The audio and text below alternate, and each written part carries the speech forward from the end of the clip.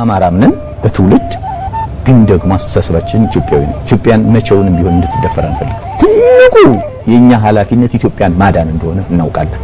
ኢትዮጵያን ማዳን ማለት አማራን ማዳን፣ ኢትዮጵያን ማዳን ኦሮሞን ማዳን፣ ኢትዮጵያን ማዳን ትግራይን ማዳን።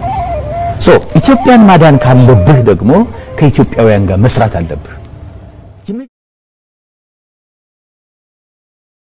ቀደም ሲል የተመለከታችሁት እንግዲህ የአቶ ኮሚሽነር አበረ አዳሙ በአንድ ወቅት ለአማራ ቴሌቪዥን የሰጡት ቃለ መጠይቅ ነው።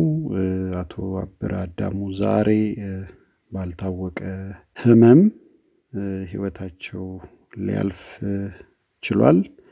የአማራ ልዩ ኃይል ቁልፍ ሚና ነበረው። አገር አድኗል። የአማራ ልዩ ኃይል ባይመክተው ኖሮ መከላከያ ወደ መሀል ይመጣ ነበር። ያኔ ሊደርስ የሚችለውን ጥፋትና ውርደት ማሰብ ይቻላል። ብዙ ነገሮች እየተባሉ ነው ስለ አሟሟታቸው።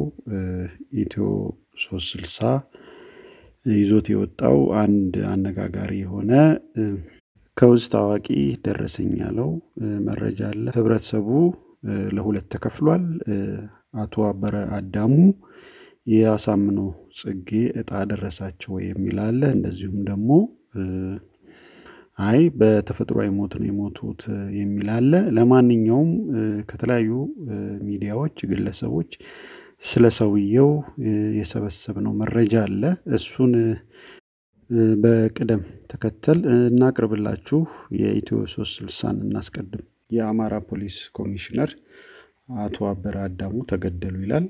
ኮሚሽነሩ የተገደሉት ተመርዘው እንደሆነም ነው የኢትዮ ሶስት ስልሳ የውስጥ ምንጮች የገለጹት።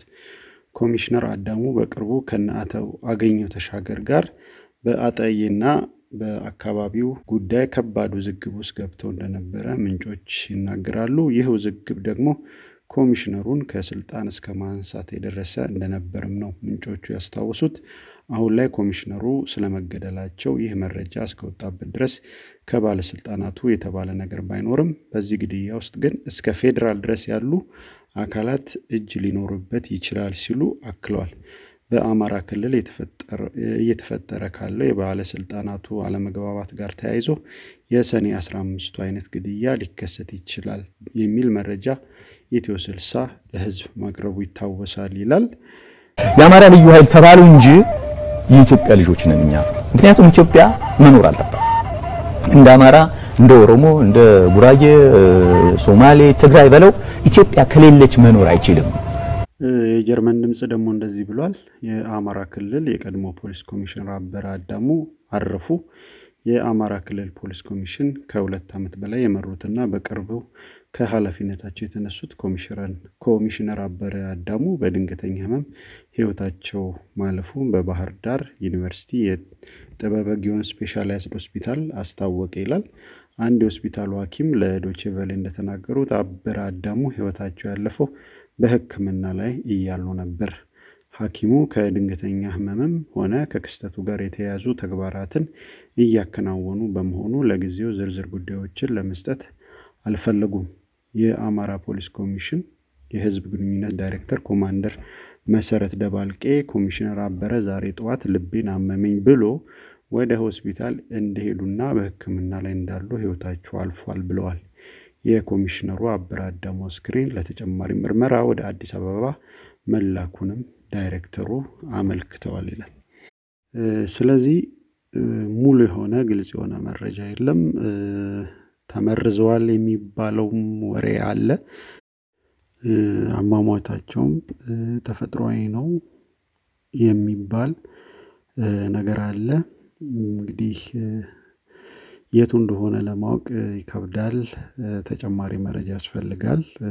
ነገር ግን አንድ ማስታወስ የምፈልገው ነገር አቶ አበረ ከስልጣን ከተነሱ አንድ ሳምንታቸው ነው። እንደዚሁም አጣዬ ላይ በደረሰው ከባድ የሆነ ቃጠሎና ጭፍጨፋ የአማራ መንግስት ተጠያቂ ካደረገው አካላት ውስጥ እሳቸው አንደኛው ናቸው። ስለዚህ ሰው ተገደሉ ወይ ደግሞ የራሱን የሆነ ጥርጣሬ የሚያቀርብበት የራሱ የሆነ ምክንያት ከሚሆኑት ግብአቶች አንዱ ይሄ አጣዬ ላይ የደረሰውና እሳቸው ከአማራ ክልል መንግስት ጋር እንደዚሁም ከፌዴራል መንግስቱ ጋር የፈጠሩት እሰጥ አገባና ጥል ነው። ለማንኛውም ነፍስ ይማር እላለሁኝ። ለቤተሰቦቻቸው መጽናናትን እመኛለሁ። ልጆቻቸው ስዊድን ሀገር እንደሚኖሩ ሰምቻለሁ፣ አንብቤያለሁ። ስለዚህ መጽናናቱን ይስጥ፣ አፈሩ ይቅለላቸው። የተለያዩ መረጃዎች በእሳቸው ዙሪያ ሰብስበን እንመለሳለን። እስከዛው ድረስ አዲስ አበቦች ነን። ራሳችሁን ጠብቁ። ጤና ይስጥልኝ። ደግሜ እስከማገኛችሁ ድረስ የነገ ሰው ይበለን። Tchau.